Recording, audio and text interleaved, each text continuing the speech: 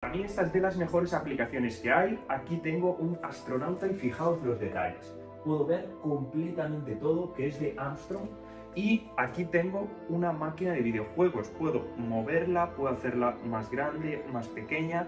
Por ahí tengo un bulldog pequeñito. Aquí tengo una escultura y aquí abajo incluso aparecen las inscripciones. O sea, me parece increíble esta aplicación. Ahí, por ejemplo, tengo un coche de carreras, un concepto, es un Ferrari. Lo puedo mover y fijaos, puedo hacerlo muy, muy grande o muy pequeñito.